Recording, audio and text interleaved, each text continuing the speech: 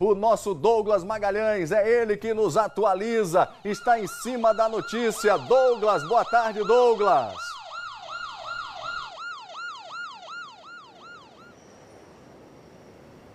Boa tarde, Cláudio. Boa tarde, Coronel Yunes, amigo telespectador que acompanha o Tolerância Zero. Olha, Cláudio, nós continuamos focados naquela questão relacionada à guerra envolvendo a Cidade Nova, o Japãozinho e o Lamarão. Guerra esta que na quinta-feira da semana passada, um jovem foi executado por volta do meio-dia. No sábado, um intenso tiroteio foi registrado no Japãozinho. E ontem, por volta do meio-dia, outro jovem foi executado. Eu queria pedir uma resposta da Secretaria da Segurança Pública acerca do que está ocorrendo na zona norte da capital. Por volta do meio-dia e meio de hoje, o assessor da Secretaria da Segurança Pública, o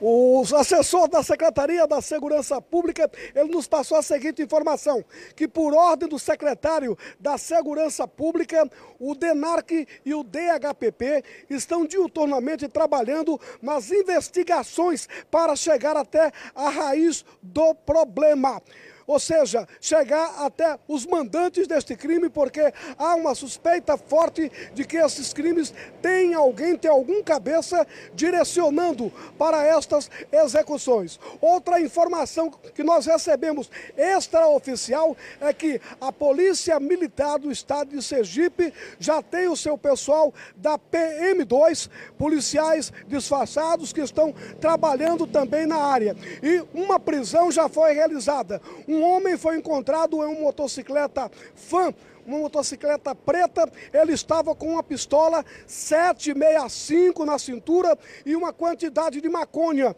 Ele foi preso e trazido aqui para a delegacia plantonista, onde foi autuado em flagrante e passará também por investigação, já que ele estava num local extremamente perigoso, onde crimes aconteceram esta semana, estava com uma arma potente, que é uma pistola 765. Nós voltamos ao estúdio.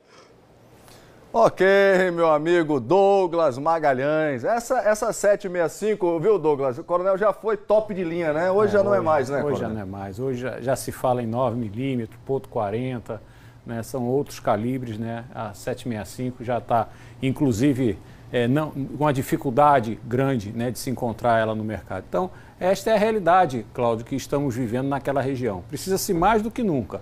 A questão do trabalho de inteligência é muito positivo, mas precisa-se, paralelo a isso, a presença do policiamento ostensivo naquela região para conter e demonstrar para a sociedade que o Estado efetivamente existe. E ele só vai demonstrar o poderio de força com a presença da Polícia Militar naquela região. Então, precisa-se fazer um planejamento e, literalmente, ocupar fazer com que as ações do tráfico de droga não possam mais perpetuar naquele local. Enquanto isso, paralelamente a isso, né, existirá o trabalho de inteligência. Então, ocupar para manter a tranquilidade e trazer a paz àquela sociedade que tanto merece e paga imposto como qualquer outra, qualquer outra localidade. Então, é importante essa presença e deixar registrado esta situação, Cláudio.